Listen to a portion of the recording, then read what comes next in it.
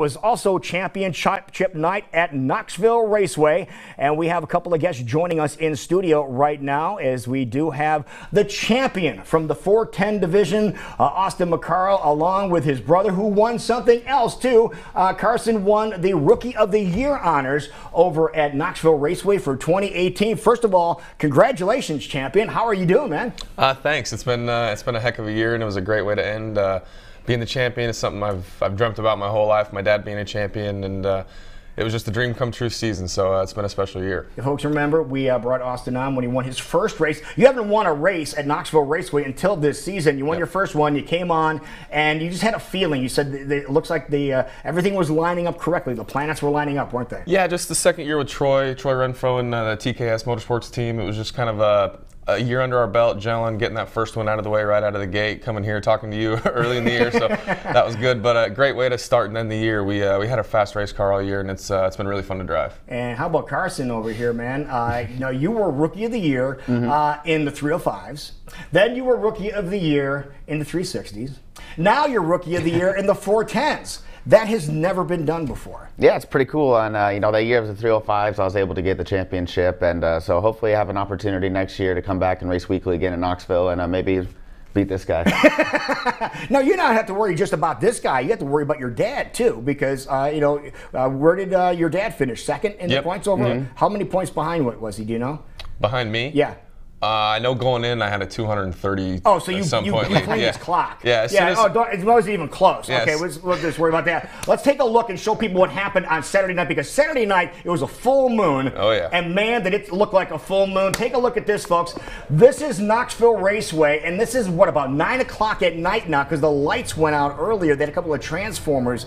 You guys blow up. What were they telling you guys in the pit area? Uh, nothing. We didn't really know anything. This was a pretty wild deal, and we knew we didn't have power about five or six o'clock and we went out and hot lapped anyway. And then we heard a big transformer blow up probably about an hour later, and I didn't know if we were going to be able to race or not. But uh, they got some people out there, and Knoxville did a great job. And thanks to all those great fans for sticking it out. I know it took a while and uh, made the night a little bit longer than it normally would be, but uh, I think it was worth it in the end. Yeah, and then you guys, uh, you know, you had all this time. We're talking hours without power. Oh, yeah. It was pitch black. It was past nine o'clock by the time they got power back on. And Carson, you guys said you don't want there's fans, and they didn't leave. Fans didn't nope. leave. You went up and you signed autographs, right? Yeah, yeah, you know the drivers did what we could, you know, to entertain the fans and stuff, and uh, we're really thankful that they all stuck around. And uh, Mid America came out, you know, fixed it all for us, and we were a little worried we weren't going to get the race. I think he was the only one that was going to be fine with the getting yeah, canceled. Yeah, canceled. You're, you're fine. Like, care. Fine, yeah. All right, let's take a look. When I see what happened in the 410s, we can show everybody this. You guys can uh, walk along with us.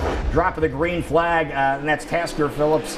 Uh, again, uh, he, he, does a great job leading from the pole, but uh, inside the second row starter, how about Brian Brown? Brownie is strong this year, wasn't he? He was he was your main nemesis, wasn't he? Yeah, Brown being the other Casey's car, he he had a bit of misfortune here and broke a U joint driveline issue, but yeah, he's been great all year he's been definitely probably the, the guy to beat. Uh, that guy as well, Kerry Madsen. So uh, it's uh, we've been able to beat him a few times this year, and it's great to race with that caliber of teams and drivers, and, and uh, it's uh, it's been a good year. Yeah. So Kerry getting back there and climbs out of there. Just look how calm and collected he is. good. They call good him day, madman. Yeah. Yeah, exactly. He doesn't have to be mad there, but he's a super nice guy. So congratulations to him. But uh, the ceremony also went on to hand you the big old trophy, huh? Yeah, that was a pretty special feeling right there, being able to to get that cup and to finally get it all over with. I wish the season at Knoxville was a little bit longer just so we could race more, but it's uh, it was a great year overall and uh, had a great night Saturday winning the championship and coming away with a podium finish. So about all you could ask for for the Casey's General Store Midwest Basement car. There you go. There's uh, the results from the other divisions as they ran on Saturday evening on championship night uh, over at Knoxville Raceway. Uh, again, you second place. Uh, that's a pretty strong finish there. You didn't need to even finish second, didn't you? Did you? Uh, no, it was kind of nice to go out for the feature, just kind of relax and just go race, not really thinking about points at all or anything. So we just went out there and 25 laps nonstop after a first yellow incident. But uh, it was a really fun race and a fun year. I'm, I'm really looking forward to 2019. You already answered to get back in. Yeah, absolutely. All right, let's take a look at the champions that were crowned over at Knoxville. Uh, how about the 305 division here, uh, Eric? Again, this guy was just strong all year long, wasn't he? Yeah, he was impressive all year. I think I I think he had about 10 or 11 quick times, which is pretty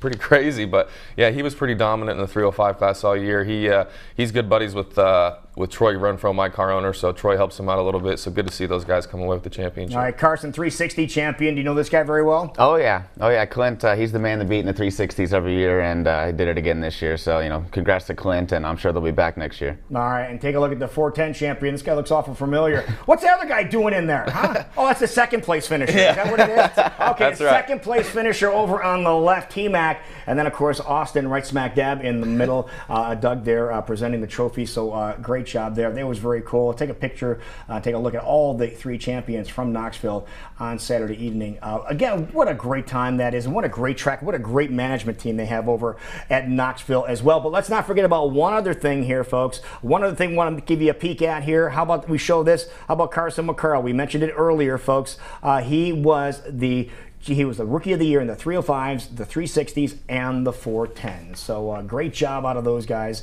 and great job out of both of you gentlemen for all your accomplishments this year. We just want to make sure that we brought you in to say, uh, you know, well done uh, for 2018. So you're planning on doing it again in uh, 2019 there, Carson? Oh, absolutely. Yeah, we got about 10 races or so left on the year, so hopefully we can rack up a couple more wins and uh, be back there next year in the 410s. There you go. And Austin, what about yourself? Uh, yeah, really looking forward to 2019. Wrap out the year here, a few more shows, and uh, just see what me. Hopefully, we can repeat next year, Troy and I. So uh, we'll just uh, we'll see. You never know. No, you guys did a great job. Uh, thank you guys so much for coming in. Well done, gentlemen. Appreciate it so much. There you have it, folks. Uh,